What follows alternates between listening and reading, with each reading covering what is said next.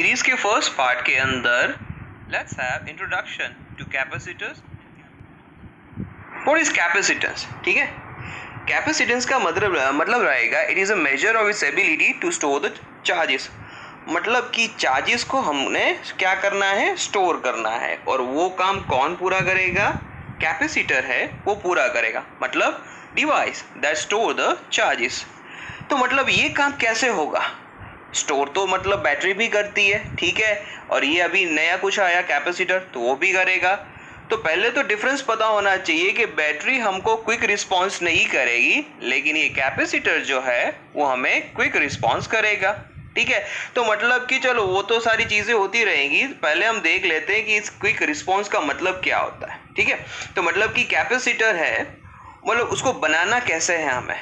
तो यहाँ पे देख लो कि भैया दो स्फीयर है। Sphere number one and sphere number two sphere number one is क्या है? Positively charged and sphere number two is क्या है? Negatively charged sphere number one is having potential v1 and sphere number two is having potential v2 तो यहाँ पे क्या लिखा है? Potential difference is v2 minus v1 if these two connected by a conductor then there is a no net charge इसका मतलब ये है कि दोनों स्फीयर को अगर कनेक्ट कर दो तो मतलब नेट चार्ज क्या हो जाएगा?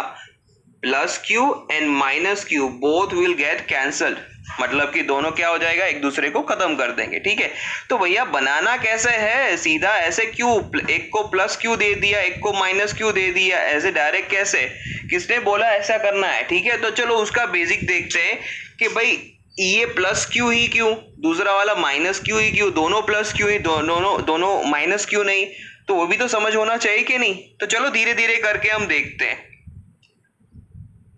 Suppose we go on gradually adding positive charge on a sphere मतलब कि यहाँ पे देखो आप, ये वाले स्फीयर के ऊपर आप क्या कर रहे हो? One by one positively charge particle को आप ऐड करते जा रहे हो। मतलब कि अभी भी है ही नहीं। आप भूल जाओ बी करके कुछ है। अभी सिर्फ़ देखो कि भैया क्या है सिर्फ़ ए ही है है ना? तो मतलब कि suppose we go on go go gradually adding positive charge on sphere so potential and electric field around uh, मतलब सीधी बात है जैसे ही चार्ज होगा अब थोड़ा तो बेसिक आता ही है ना इलेक्ट्रोस्टैटिक के अंदर कि भैया चार्ज को आप ऐड करो तो क्या होगा? इलेक्ट्रिक फ़ील्ड बढ़ेगी। फ़ील्ड बढ़ने से क्या होता है? तो पोटेंशियल बढ़ेगी है ना?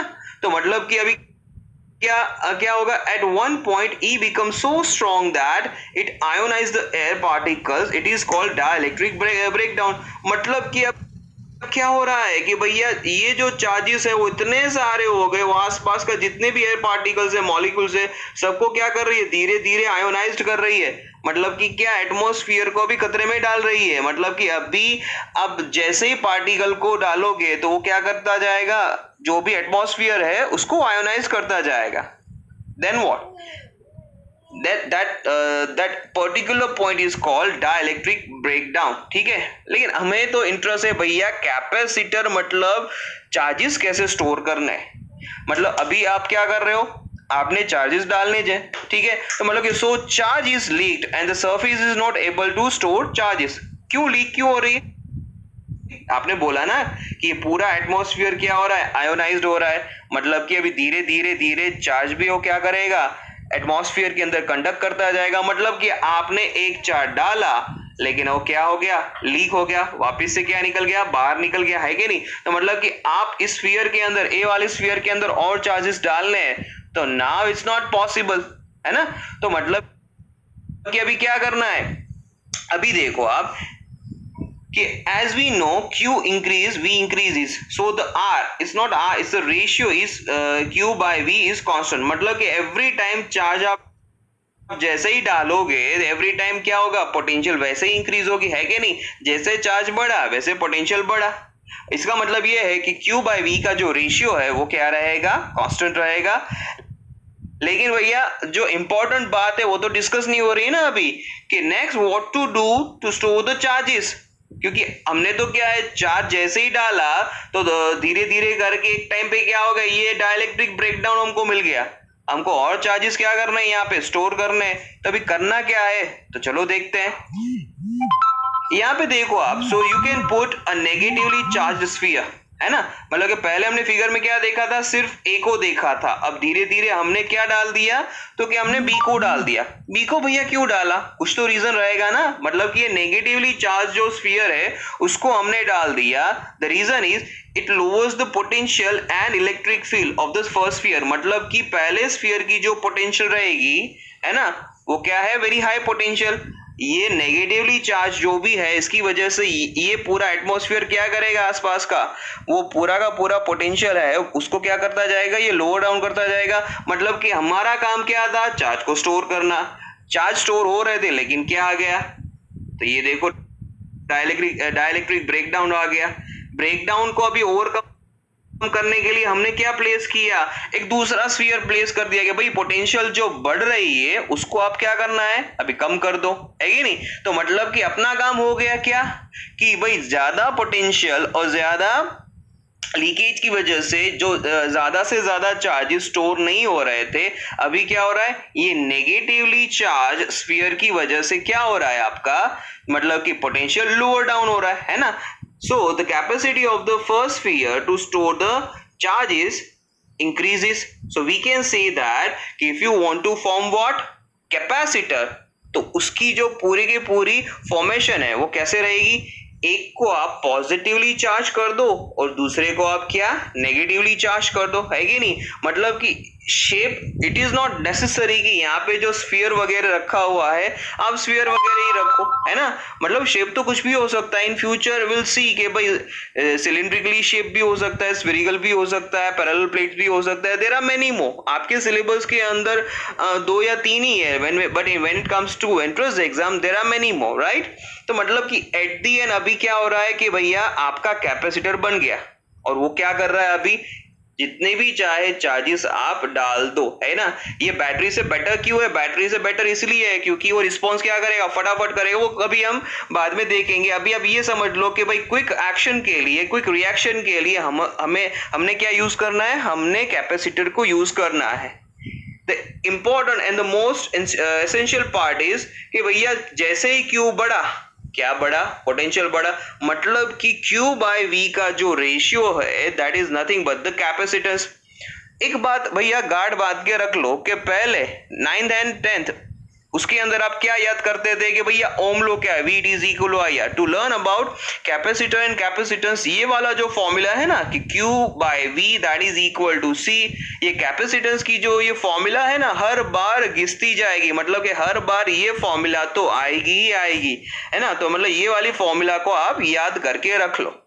है कि नहीं? तो मतलब कि आपकी आपका क्या हो गया? रेडी कैपेसिटर रेडी हो गया।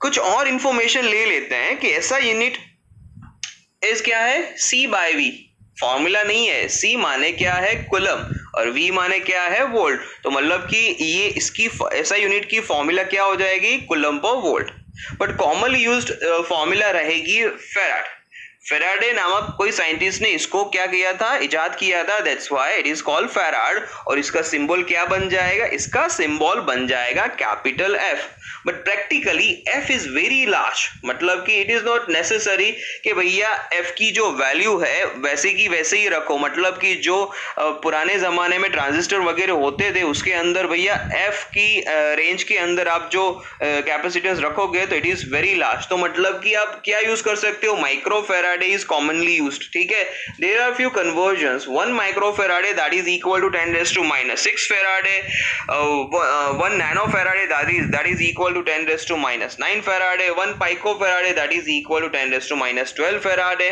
है ना तो मतलब कि these are commonly used terms but सबसे ज़्यादा mark my words 1 microfarad that is equal to 10 raised to minus 6 Faraday इसको हम सबसे ज़्यादा यूज़ करते हैं ठीक है ओके अब ये जो दोनों सिंबल्स हैं, दोनों अप्रोक्सीमेटली क्या लग रहे हैं आपको? एक ही लग रहे हैं, लेकिन माइनर डिफरेंस है।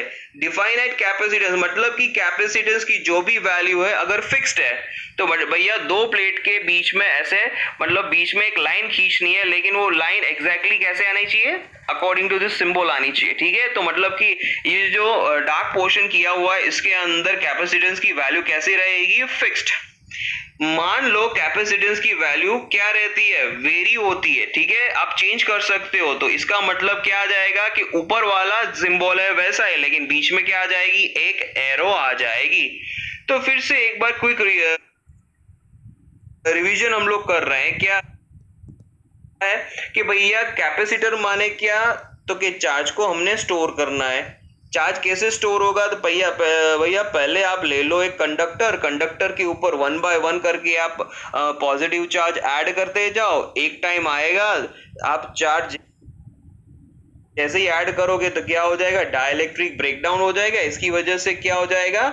इलेक्ट्रिक फ़ील्ड एंड पोटेंशियल क्या तो वो बढ़ जाएगी। वो बढ़ जाएगी तो अभी क्या करना है? डिग्रीज भी तो करना है तो उसकी वजह से हम लोगों ने ये क्या प्लेस कर दिया?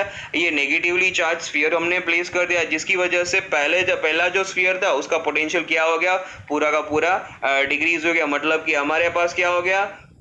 फुल चांस हो गया कि भैया और जितने भी चार्जेस हैं, इसके अंदर क्या करते जाओ? आप धीरे धीरे करके स्टोर करते जाओ, है ना? लेकिन सबसे इसेंशियल पार्ट क्या मैंने बताया? इसकी जो फॉर्मूला है which is Q by V that is equal to C है कि नहीं? एंड देन फेराडे आप ये नाम याद कर लो, फिर कॉमनली यूज़ ये कन्वर्जन आप याद कर लो देन उसके बाद क्या हो जाएगा ये सिंबल वगैरह हमने याद करना है, ठीक है? तो भैया ये क्या था अपना? Basic conceptual clarity over capacitor and capacitance thank you